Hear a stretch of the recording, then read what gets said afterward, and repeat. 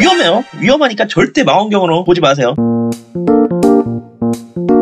안녕하세요. 반갑습니다. 여러분들 반갑습니다. 안녕하세요. 혹시 여러분들 라이브 제목 보셨어요? 오늘 제가 뭘 할 건지에 대해서 딱 써놨는데 망원경으로 보면 큰일 날 것. 오늘은 이 망원경으로 보면은 이거 진짜 큰일 날 것들에 대해서 좀 이야기를 나눠볼까 해요. 망원경으로 보면 큰일 날 것들 베스트 3. 오늘 세 가지를 좀 이야기를 해볼 거예요. 이거는 진짜 꼭 피해 주셔야 됩니다. 네. 자, 지금 뭐 태양, 태양 많이 말씀하십니다, 지금. 네. 맞습니다. 첫 번째 태양이에요. 태양, 태양계에서 일단 가장 밝은 천체예요. 그냥 지금 이 사진만 봐도 엄청 밝아 보이죠? 뭔가 밝은 것도 밝은 건데 엄청 뜨거워 보여요. 이 태양이라는 것은 스스로 빛을 내요. 빛을 낸다는 것은 그만큼 열이 있다는 뜻이죠. 자, 이런 태양, 태양을 왜 망원경으로 보면 안 되는 걸까? 자, 여러분들 혹시 돋보기로 태양빛 모으기 실험 혹시 해보셨나요? 우리 초등학교 때한 번쯤은 해보셨을 거예요. 한 번쯤은. 돋보기로 태양빛을 모으면은 태양빛이 한 점으로 모이면서 거기가 타기 시작해요. 연기가 이렇게 슉 나요. 연기가 슉. 그러면서 이제 불이 나죠. 볼록 렌즈 자체가 모으는 성질이 있어요. 빛이 한 점으로 모여서 열이 발생해서 타요. 망원경도 마찬가지예요. 빛이 모여요. 슉. 그래서 한 점으로 또 모이겠죠. 그거를 아이피스를 거쳐서 우리 눈으로 또 모여요. 망원경의 원리예요. 돋보기랑 얼추 비슷하죠. 돋보기도 빛을 모아요. 자, 망원경도 빛을 모았어요. 그러면 망원경이 빛을 모이 면은 어디를 향해? 우리 눈으로 향하죠. 큰일 나는 거예요.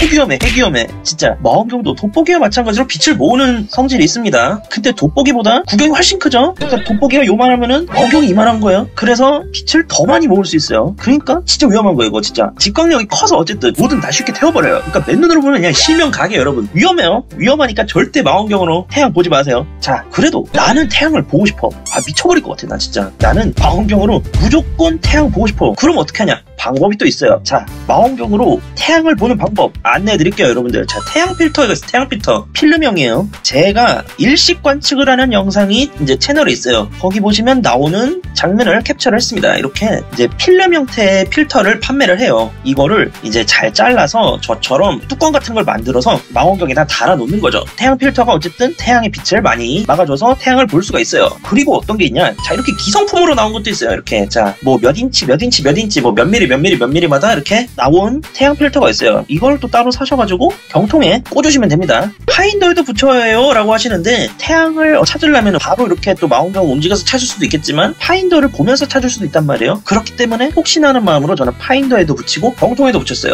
안전을 위해서. 어쨌든 간에 이렇게 기성품으로 나온 것도 있고 태양 망원경이 있어요. 태양 망원경. 자 이게 코로나도라는 망원경인데 태양을 보기 위한 망원경이에요. 이건 뭐 필터가 안에 다 있어요. 다 있어가지고 안전하게 볼 수 있습니다. 안전하게. 안전제일 믿는 그죠 안전제일이에요 진짜. 괜히 제가 이렇게 말씀드리는 게 아닙니다. 이렇게 세 가지 종류가 있어요. 뭐가 제일 비싸냐? 태양 망원경이 제일 비싸요. 몇백만 원 합니다. 이 조그만한 게자그 다음에 요거예요. 이거는 몇십만 원 해요. 자 이게 가장 싸요. 이게 이게 10만 원 안 해요. 네자 어쨌든 자 이렇게 이렇게 세 가지가 있습니다. 어쨌든 이런 거를 통해서 여러분들이 태양을 관측하시면 돼요. 유언을 위한 떡밥인가요? 하시는데 저거를 살 돈이 없습니다. 가격이 태양 마냥 뜨겁네요 만약에 이 필름, 이 필름의 성능이 궁금하다 하시면은 제 채널에 일식 관측 영상 있어요. 그거를 보시면은 견적 나옵니다. 아, 이렇게 보이는구나. 자, 두 번째. 두 번째로 큰일 날 거. 두 번째로 큰일 날 게 뭐냐? 보름달이에요, 보름달. 자, 여러분들이 말씀하셨어요. 자, 뭐 달, 뭐 말씀하신 분들도 계셨죠. 태양 다음으로 밝죠? 달은 스스로 빛을 내는 게 아니라 태양빛을 반사하는 친구예요. 그래서 우리 눈에 보이는 거죠. 자, 이 달을 왜 큰일 날 거라고 하냐? 그죠? 달 눈뽕도 무시 못합니다. 자, 초승에서 보름으로 갈수록 자, 밝기도 늘어나요. 면적이 점점 커지기 때문에 그만큼 또 밝기도 올라가겠죠. 자, 그렇기 때문에 달을 보시려면은 문 필터라는 게 필요합니다. 문 필터가 뭐냐? 밝은 달빛을 일정 부분 이제 차단을 시켜주는 거예요. 그래서 눈부심 없이 달을 보게 도와주는 이런 역할을 하는 필터예요. 자, 이 친구를 왜 써야 되냐? 진짜 눈이 부셔요. 특히 보름달 같은 거는 몇 초 보고 아유 눈부셔, 아유 눈부셔 이런다고요. 그죠? 18인치 도보로 보름달 그냥 한번 봤다가 30분 동안 아무것도 안 보인 적이 있는 일이 는 눈뽕 오져요 이게 여러분들. 큰일 납니다. 진짜 섬광탄 맞아요. 조심하셔야 돼요 진짜. 이게 눈 건강을 떠나서 그냥 관측할 때 내 눈이 너무 피로해져. 초속달, 금옥달 정도는 괜찮아요. 필터 없이 와도 오케이. 괜찮습니다. 이 정도는 괜찮아요. 왜냐면은 얘네는 빛이 약해요. 응, 그래서 볼만해요 얘네들은. 그런데 보름으로 갈수록 달빛이 강력해져서 눈뽕을 맞을 가능성이 점점 올라갑니다. 그렇기 때문에 조심하셔야 돼요 진짜. 필터를 꼭 끼셔야 돼요. 문 필터를 꼭. 특히 이제 반달 근접했을 때부터 필터를 꼭꼭 끼셔야 됩니다. 진짜로. 저는 객기를 좀 많이 부리는 스타일이라서 이달도 그냥 봐보고 보름달도 그냥 봤는데 어쨌든 눈이 시큰거리는 건 둘 다 똑같았어요. 꼭 문필터를 구하셔서 아이피스에 결합하신 후에 그 다음에 망원경으로 관측을 하시길 바랍니다. 문필터는 예, 저렴합니다. 얼마 안 해요. 1.25인치 문필터 같은 경우에는 진짜 싸요. 부담 없이 구매하실 수 있습니다. 2인치짜리도 그렇게 큰 가격이 아닙니다. 그래서 달 좋아하시는 분들이라면 문필터는 하나씩 갖고 계시는 게 좋을 것 같습니다. 필터는 체리 필터가 아, 이렇게 아재 개그가 훅 치고 들어오시네. 아주 하트까지 그냥 킹받네. 자 이제 마지막 하나 남았습니다. 마지막 하나는 뭘까요? 이게 마지막이 하이라이트예요 제가 봤을 때. 얘가 제일 얘는 진짜 큰일 나요.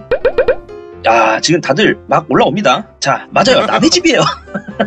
남의 집이야 남의 집. 남의 집 보시면 안 돼요. 큰일 납니다 진짜. 여러분들. 어떻게 되냐?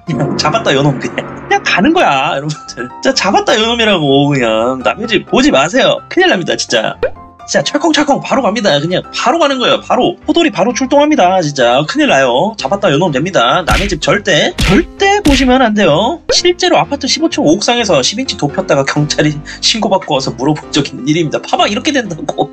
아파트 단지는 망원경 베란다로 들고 갔다면 온갖 부담이 자 웬만하면 오해받기 좋은 곳에서는 관측하지 마세요. 자 예를 들면 뭐 아파트 단지 안, 뭐 베란다, 옥상, 내 방 창문 뭐 이런 거 괜한 오해 사서 네, 이제 뭐 별 구경하기 전에 이제 별을 달 수가 있으니까 네.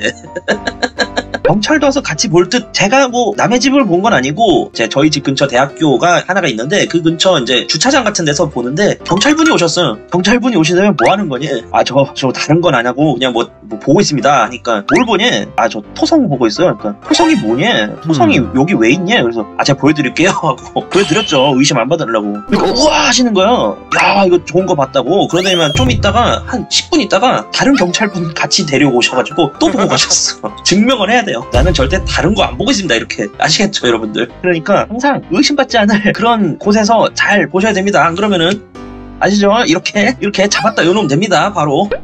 캠핑장 같은 곳은 안 위험하죠. 그런 데는 괜찮아요. 보통 캠핑장은 교외에 있잖아요. 도심과 멀리 떨어지고 뭐 그 주변에 뭐 집도 없고 뭐도 없잖아요. 캠핑장 같은 데는 괜찮아요. 캠핑장은 옆 텐트 보는 막 이런 거 안 된다고 이러면 진짜 이런 바로 이렇게 된다고 이렇게. 자 어쨌든 여러분들 이렇게 세 가지에 대해서 이야기를 해봤습니다. 네. 여러분 아시겠죠? 자 태양, 보름달, 남의 집 이렇게 세 개는 피해 주세요. 네.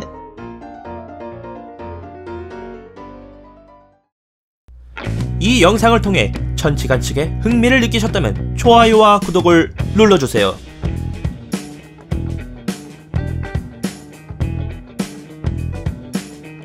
지금까지 미드나잇이었습니다.